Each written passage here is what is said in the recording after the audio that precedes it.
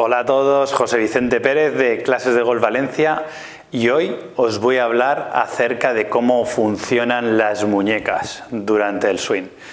Así que no olvidéis suscribiros a nuestro canal de YouTube y visitar nuestra página web clasesdevolvalencia.com donde podéis encontrar planes de entrenamiento, vídeos y un ebook gratis. Un saludo y vamos allá.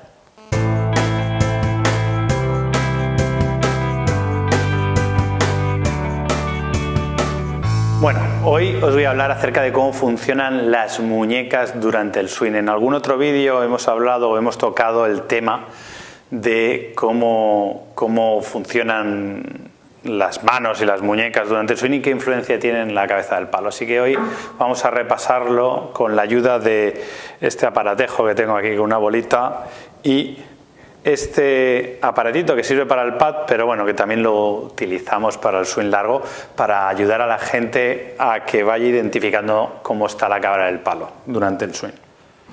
Lo primero que tenéis que saber es que las muñecas se mueven básicamente en dos sentidos. ¿no? Se mueven en flexión-extensión, que es este movimiento, y además se mueven de arriba hacia abajo, que es aducción y aducción.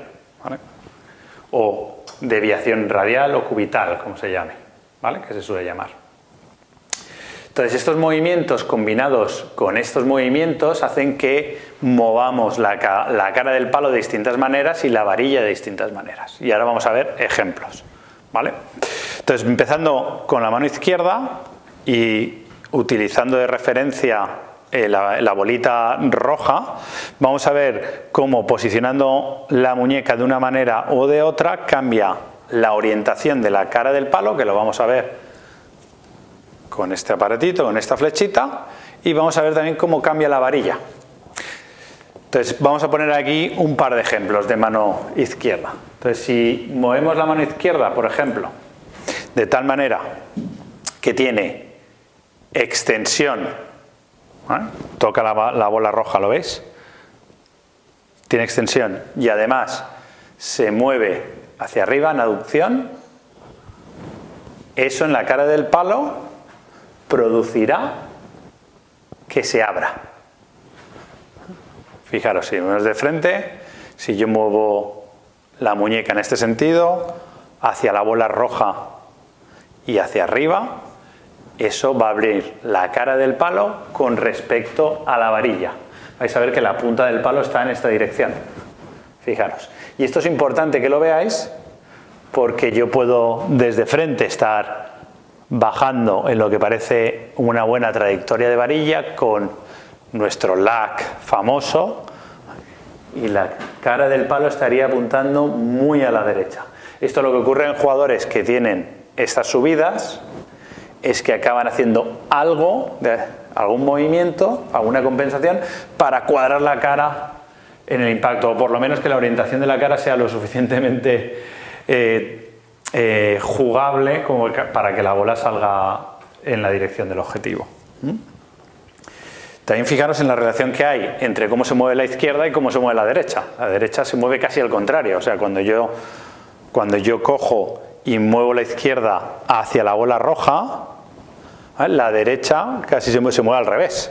Pues también se mueve hacia la roja, pero se mueve en esta dirección. Entonces ese cambio no solo tiene un cambio en la orientación de la cara, sino incluso en la varilla, en cómo baja la varilla.